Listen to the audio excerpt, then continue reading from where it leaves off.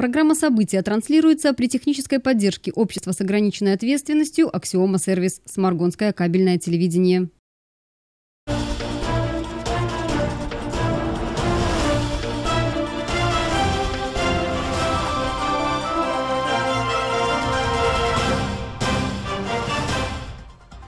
Мы рады приветствовать вас. Вы смотрите информационный выпуск программы «События». Самыми главными темами познакомлю вас я, Виктория Бичурина. В Беларуси будет работать портал рейтинговой оценки качества оказания услуг организациями, сообщили корреспонденту Белта в Министерство связи и информации.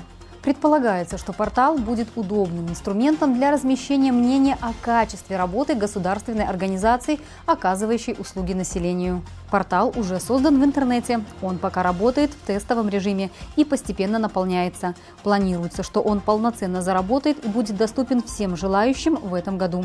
Это позволит создать в стране прозрачный и объективный механизм оценки уровня развития государственных услуг, отметили в министерстве.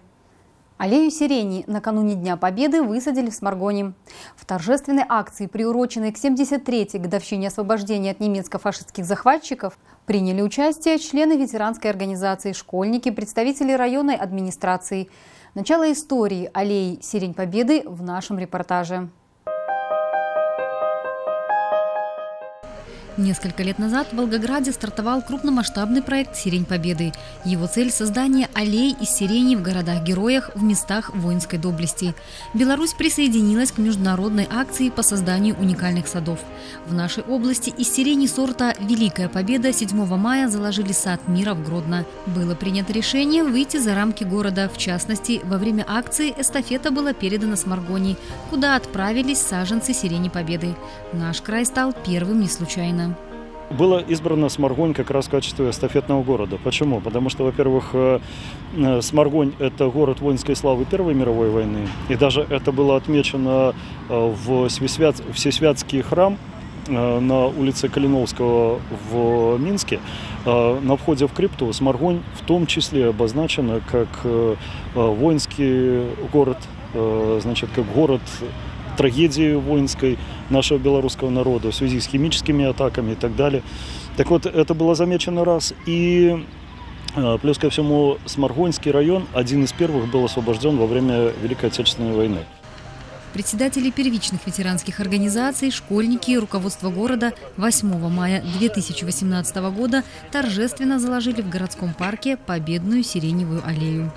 Сегодня на этой акции будут присутствовать э, представители общественных организаций нашего э, района. Это прежде всего, конечно, представители ветеранской организации, которую я представляю. Это э, члены Белой Руси, это члены БРСМ и других организаций, которые вот своим участием в этой акции покажут значит, уважение, покажут э, память к ветеранам Великой Отечественной войны. В мае 45-го благоухала сирень. Именно она и стала символом победы в Великой Отечественной войне. Букетами сирени встречали воинов-освободителей и в городах Европы, и у нас на родине. В каждую годовщину Великой Победы будет расцветать сирень в память обо всех воинах и тружениках, которые подарили нам мир. Значение праздника Великого Дня Победы нельзя преувеличить. Этот праздник действительно, который со слезами на глазах – ведь у каждого белоруса с этим праздником связаны воспоминания о своих близких, о своих родных, которые воевали, которые погибли, которые попали в плен или находились в концлагере. И эти воспоминания сегодня мы, закладывая эту аллею, как символ памяти, э, хотим вот преподнести нашему городу. Кусты сирени бесплатно предоставил Центральный ботанический сад Академии наук Беларуси. Его коллекция элитных сортов данного растения – одна из богатейших в мире. Насчитывает около 200 разновидностей. Свыше 20 из них посвящены истории и личностям Великой Отечественной войны. Мы представители учебного центра Института пограничной службы Республики Беларусь, и, а также первичной организации Белорусский республиканский союз молодежи приняли участие в данном мероприятии – с целью увековечить память о подвигах, совершившихся в годы, в годы войны, и сохранить память в сердцах. Сегодня наша обязанность сохранить тот мир и покой, который завоевали наши ветераны. Сиреневую аллею планируется дополнять новыми саженцами на протяжении последующих лет, передавать их в сельские советы.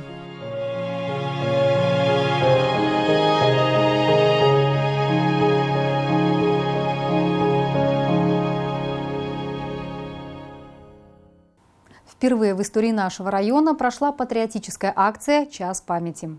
8 мая в рамках ее проведения в 13.00 во всех семи сельских советах Сморгонщины у памятников погибшим в годы Великой Отечественной войны состоялись торжественные митинги, посвященные Дню Победы. Один из них запечатлела наша съемочная группа. Руководство района, начальники основных служб, а также представители общественных организаций 8 мая в 13.00 во всех сельсоветах Сморгонщины провели торжественные митинги в рамках акции «Час памяти». Данная районная акция была организована впервые. 9 мая наша страна отмечает День Победы. Это праздник, который соединил в себе радость и скорбь, гордость за нашу историю и искреннюю печаль о многочисленных жертвах войны. Сегодня мы собрались здесь, у памятника погибшим односельчанам, чтобы почтить память тех, кто защищал нашу Родину в тяжелые времена. В торжественном митинге и возложении цветов к памятнику, расположенному на территории Жидишковского сельского совета, приняли участие председатель райисполкома Геннадий Харужик, военный комиссар Леонард Гружевский и председатель районного совета ветеранов Владимир Косаковский. Почетными гостями были ветераны Великой Отечественной войны Вацлав Брониславович Гражуль и Владимир Петрович Муский. На мероприятие пришли жители агрогородка, представители трудовых коллективов местных предприятий и организаций, школьники, ребята, приехавшие на оздоровление оздоровления в реабилитационный центр «Лесная поляна». Работниками культуры и учащимися школ агрогородка Жодишки была подготовлена праздничная программа. В нее вошли душевные стихи и мелодии военных лет. В этот весенний день было сказано много слов о войне, о героизме советских воинов и партизан, о самоотдаче тружеников тыла, слов благодарности ветеранам за то, что мы живем под мирным небом в свободной стране. Называя эту победу великой, мы отдаем должное священному подвигу советского народа, той неодаримой силе духа, с какой наши отцы и деды отстаивали право своей страны на свободное самостоятельное развитие. Военное лихолетие коснулось черным клом каждой белорусской семьи, но ничто не сломило дух нашей нации. И хотя давно отгремели кровопролитные бои, ушли в прошлые тревожные и нелегкие послевоенные годы, но не вычеркнуть из памяти патриотизм белорусского народа.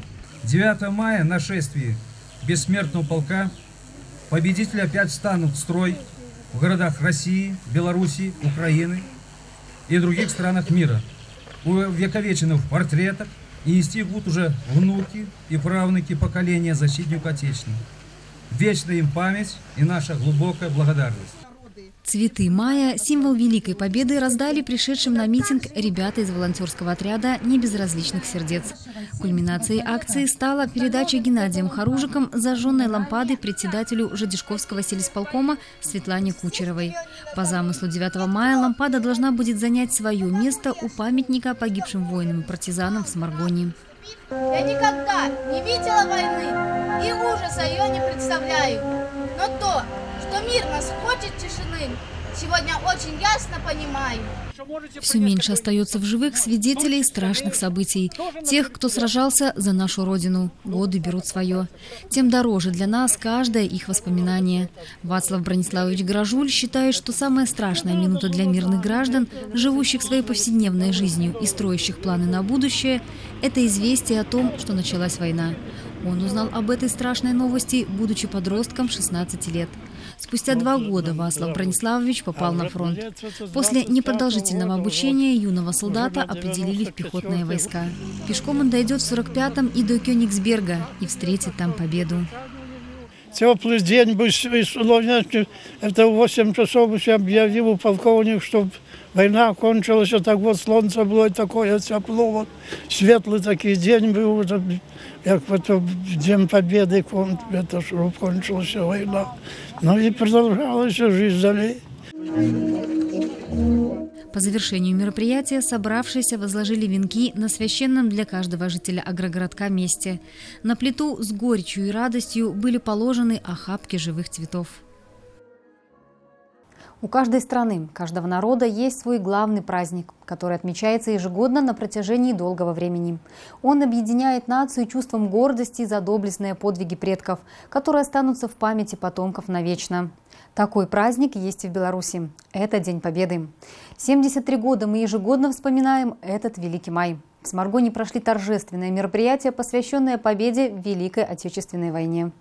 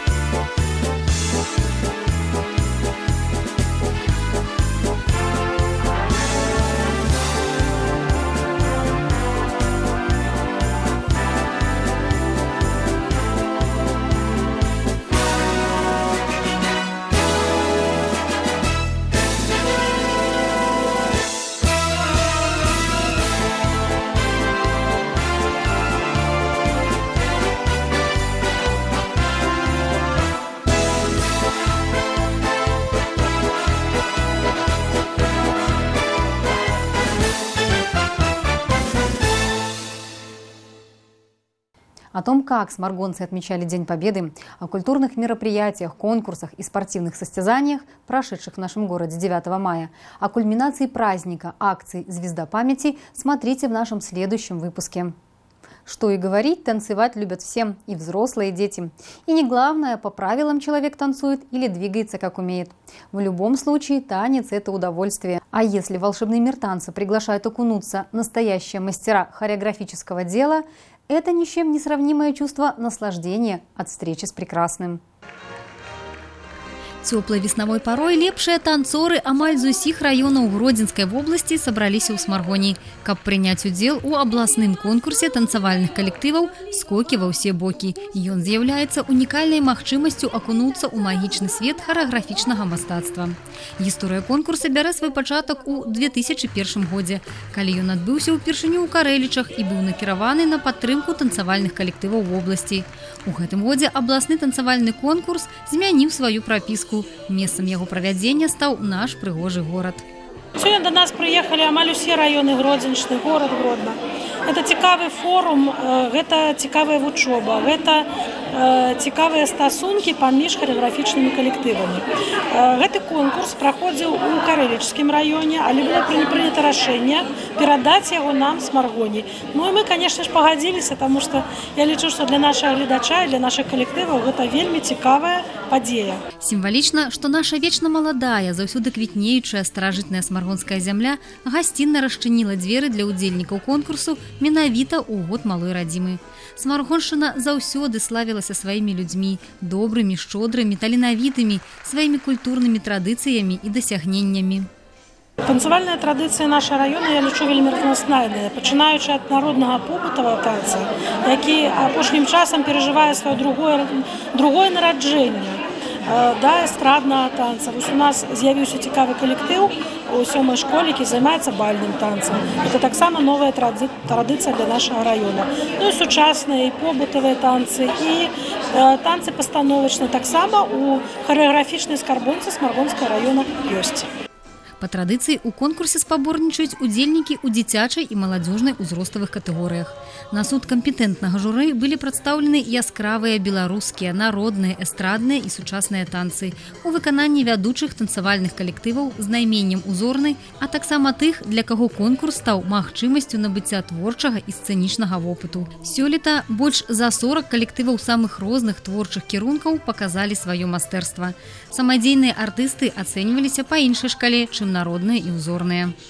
На самом деле мы будем относиться по-честному. Критерии будут правильные, такие, как должны быть, когда будет оцениваться мастерство, артистизм, соответствие костюмов э, заданной теме танцевального номера, конечно же, техника исполнения и, конечно, победит сильнейший. Мы будем честным в жюри, будем, будем стараться делать так, чтобы каждый уехал счастливый и довольный, вспоминал этот праздник многие годы и стремился сюда приехать еще.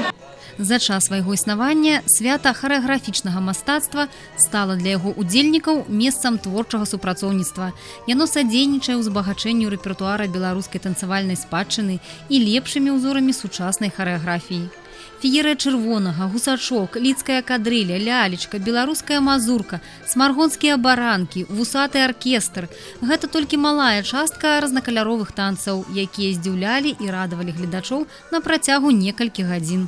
Мы приехали из Герниона, будем танцевать ну, народный танец. Танцевать это ну, интересно для души. Ну, я думаю, то же самое, потому что для меня танец это э, когда можно показать свой внутренний мир, то, что ты чувствуешь. Танец для меня это в жизни он самый как бы лучший, и в нем целый, целую жизнь движения. Мне очень нравится выступать на публике, показать, что я умею, мою душу. Когда мне аплодируют, мне мне очень приятно. Я показала все, что я могла. Насколько нравится танцевать? На сто процентов!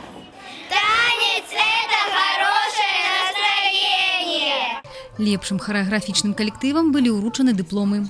Адным з пераможцаў стала і танцавальная група народнага ансамбля песні і танца імя міхала кляфаса агінскага раённага цэнтра культуры балетмастера паўла радзько для ўсіх удзельнікаў мерапрыемства арганізатары падрыхтавалі падарунак экскурсію па горадзе з наведваннем смаргонскага гісторыка-краязнаўчага музея і мемарыяла комплексу памяці герояў і ахвяр першай сусветнай вайны.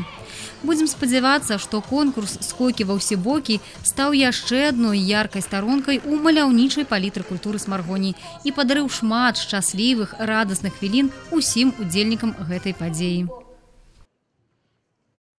Много веков пользуются белорусы рушниками. Ткут и расшивают их и сегодня, продолжая совершенствовать красоту, над которой работало множество поколений. Каждая из них осмысливала и складывала в единую народную копилку понимание рушникового декора и его особенностей.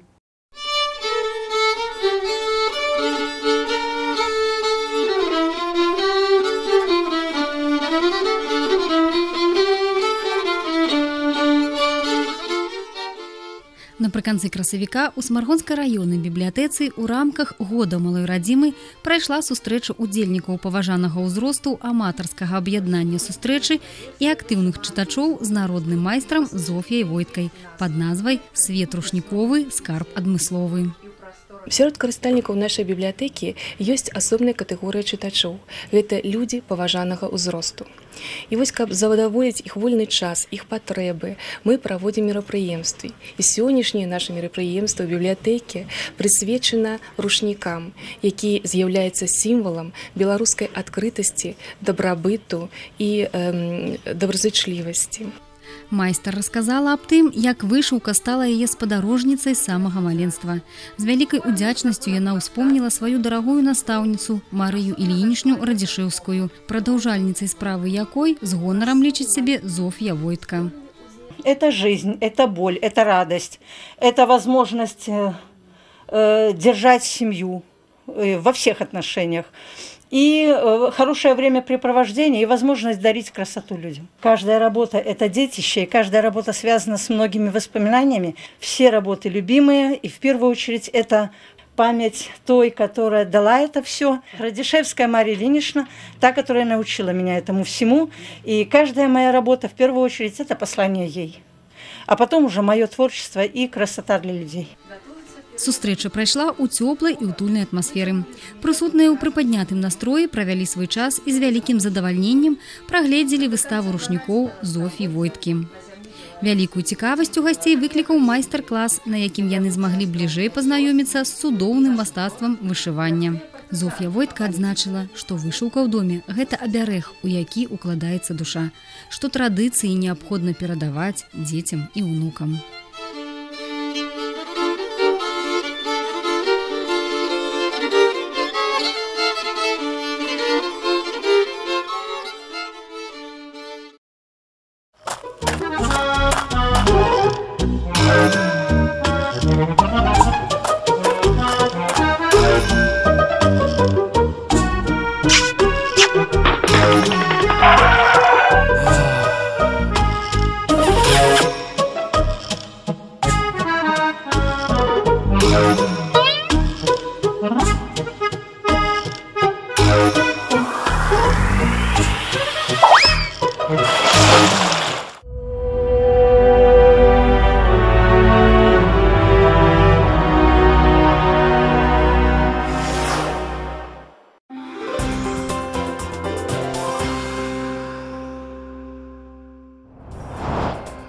Субботу 12 мая будет ясно. Температура воздуха в ночные часы составит плюс 9, плюс 11. Днем воздух прогреется до 20-22 градусов тепла. Ветер северо-восточный слабый. В воскресенье 13 мая ожидается переменная облачность. Ночью столбики термометров покажут плюс 10, плюс 12. Днем 19-21 со знаком плюс. Ветер восточный умеренный. Местами по району к вечеру возможен кратковременный дождь. В понедельник, 14 мая, будет облачная с прояснением погода. В ночные часы температура воздуха составит плюс 9, плюс 11. Днем 17-19 градусов тепла. Ветер восточный, умеренный. Во второй половине дня ожидается кратковременный дождь. Это были основные темы нашего выпуска. Мне остается только попрощаться. Берегите себя, будьте в курсе событий.